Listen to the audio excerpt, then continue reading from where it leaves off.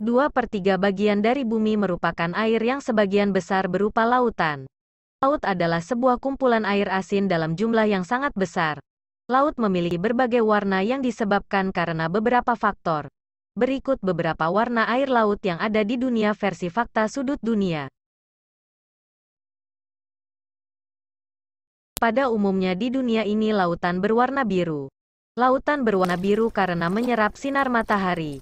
Pada saat sinar matahari mengenai perairan laut, molekul air alami menyerap sinar cahaya. Namun tidak semua sinar diserap dengan cara yang sama. Molekul air yang utama menyerap gelombang cahaya yang lebih panjang seperti pada panjang gelombang merah, oranye, kuning, dan hijau. Panjang gelombang yang lebih pendek seperti panjang gelombang biru cenderung dipantulkan kembali ke mata. Inilah sebabnya mengapa air laut menjadi terlihat berwarna biru.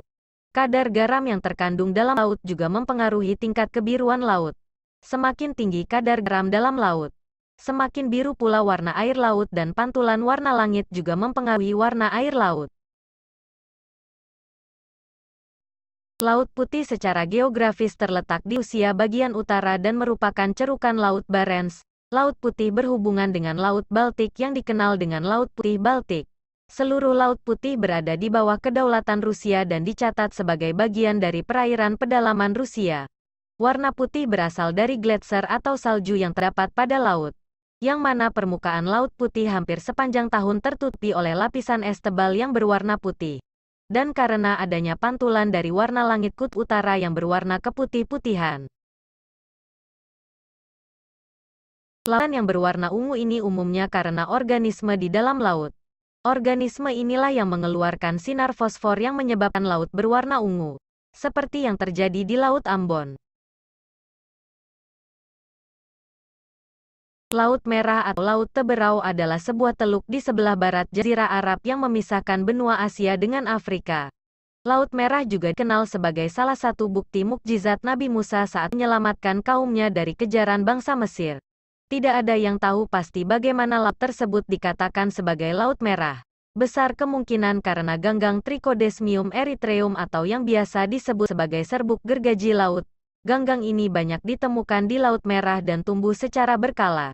Saat ganggang tersebut mati, maka air laut yang berwarna biru akan berubah menjadi coklat kemerahan bersamaan dengan alga yang sekarat menyebar ke permukaan laut.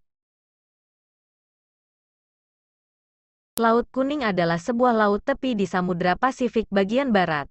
Laut Kuning secara geografis terletak di antara Tiongkok dan semenanjung Korea. Laut Kuning mendapat namanya karena Sungai Kuning bermuara di sini dan setiap tahunnya membawa endapan lumpur dari gurun Gobi yang kuning menyebabkan laut ini berwarna kuning-kuningan. Fenomena air laut yang berubah warna menjadi warna hijau pernah terjadi di perairan Padang. Hal ini terjadi karena faktor perubahan iklim yang tidak menentu yang mempengaruhi arus laut sehingga pergerakan massa air tidak lagi normal. Penyebab lainnya karena blooming alga.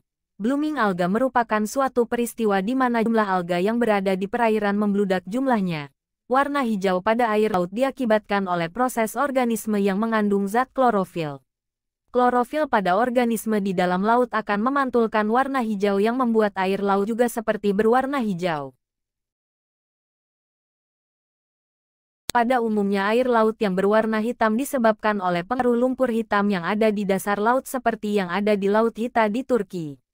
Namun ada juga lautan yang diberi nama Laut Hitam atau Black Sea yang terletak di antara Eropa bagian tenggara dan Asia Kecil atau Anatolia.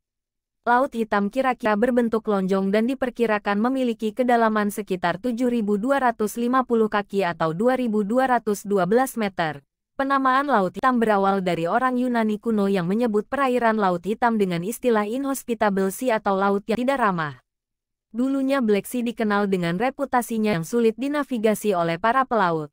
Beberapa anggapan lainnya mengatakan jika asal-usul penamaan Laut Hitam berasal dari kandungan benda logam, tumbuhan mati serta materi hewan yang tenggelam dalam kurun waktu lama.